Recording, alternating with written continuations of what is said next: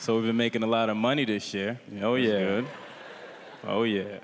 But we're scared of money, man. Terrified. We feel like the more money you make, the more you start to transform into an evil white dude, man. Oh, it's happening, man. It's happening. Two weeks ago, we got paid and went to IHOP. Mm-hmm. The waitress sat us down, took our order. I ordered the pancakes, because that's how I roll. Mm-hmm. And he ordered the waffles, because that's how he rolls. Yep. Waitress went back, came back with our order. She gave me the waffles, and she gave him the pancakes. That's disrespectful. Yep. So we had to do something as evil white dudes. We couldn't let it slide. No, man, evil white dudes don't let anything slide. So we just knocked everything onto the ground. Stood up, fired her on the spot. Yep. Walked out of that IHOP like Kevin Spacey in House of Cards Or seven. or Usual Suspects. Kevin Spacey plays a lot of evil white dudes. Mm-hmm. He's sort of like the Michael Jordan of playing evil white dudes. Absolutely. I would say. High caliber. Yeah. Speaking of Michael Jordan, I feel like Michael Jordan must have had a tough time selling Space Jam to Charles Barkley, man. Absolutely. He had to come off as a douchebag. We've been trying to spend the last 25 years trying to figure out how he did this. It's Yeah. been plaguing us. This is how we envisioned the conversation went. He's gonna play Michael Jordan. Mm-hmm. I'm gonna be Charles Barkley.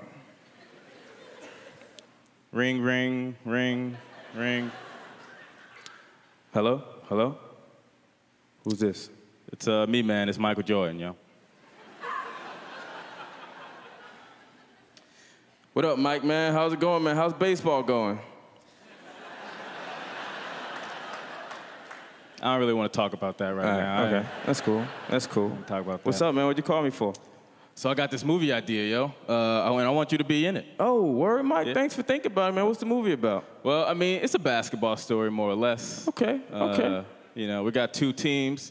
Uh, on your team, it's going to be uh, Muggsy Bogues, Shawn Bradley, Larry Johnson, and Patrick Ewing. Dope team. That's Sick a formidable team, Mike. Yeah. I like that team, man. Yeah. Who's gonna be in your team, Mike? Daffy Duck.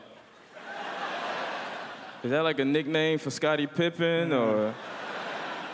No, no, no, Looney Tunes. And we're going Oh, to you have Bugs t- Bunny and Tasmanian Devil. I was trying to get Mickey Mouse. Oh, hold on, Mike. Hold on, Mike. I got another call on the line, man. I'll, I'll get back to you. Okay. okay. Hey, what's up, man? Who's this?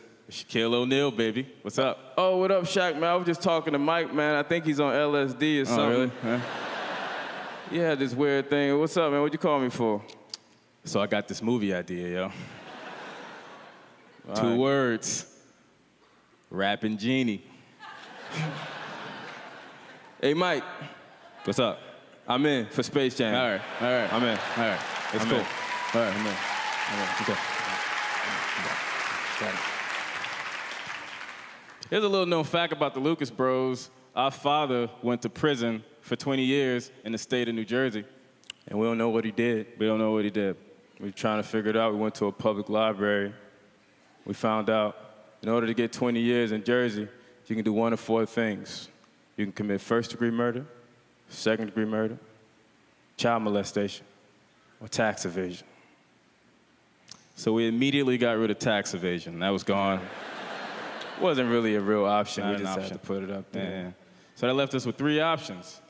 Shitty options. Terrible options. But I feel like this might be the only situation where you want your father to be a murderer, right? right? because the only situation. We pray to Steve Harvey every night for it. so we filmed uh, 22 Jump Street in New Orleans, and Good the movie was great, but the New Orleans kind of. You want to explain Our what friend told us to experience New Orleans, you know, try to get ourselves out there and do as much as possible to get that actual New Orleans experience. So the first week we uh, went to the French Quarter, traveled around, had a good time. And then the second week, we got robbed. I think that's the full New Orleans experience. Yeah, Right? absolutely. That's the We got it. We got the full- But it was a strange robbery, man, because we'll let you know what happened. We were walking on Bourbon Street.